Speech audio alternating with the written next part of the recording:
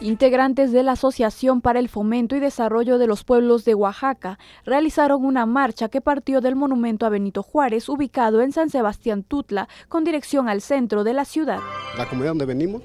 pues hay muchas carencias, pues muchas carencias, estamos muy abandonados y ese es el motivo por el cual este venimos con Apodepo. El dirigente de esta organización, Mauro Cruz Cruz, aseguró que a un mes de haber entregado su pliego petitorio, el gobierno del estado no ha liberado los recursos para infraestructura social, agua potable, red de drenaje y proyectos productivos para el desarrollo de aproximadamente 130 comunidades de la Sierra Sur, Valles Centrales, Costa, Mixteca y la cuenca del Papaloapan. Nuestra gente decidió este, acompañarnos con una representación para hacer una movilización y exigiéndole al gobernador que seamos atendidos de nuestras necesidades en las comunidades. Efectivamente ya, este, acordamos tener una mesa de, diálogo al mediodía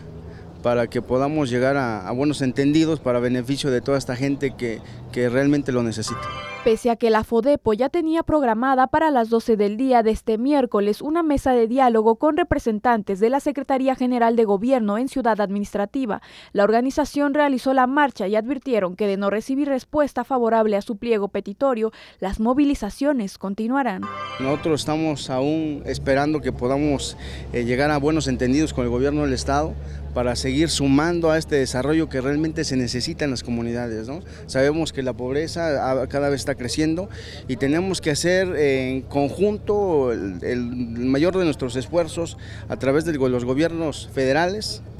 del Estado, municipales y a través de las organizaciones de la sociedad civil, poder llevarles pues lo que realmente necesita nuestra gente en comunidad. Del acuerdo que llevemos ahorita con el gobierno del Estado, de eso va a depender si accionamos algún otro tipo de, de movilización. Con imágenes de José Antonio Reyes para MBM Televisión, informó Patricia Aguilar.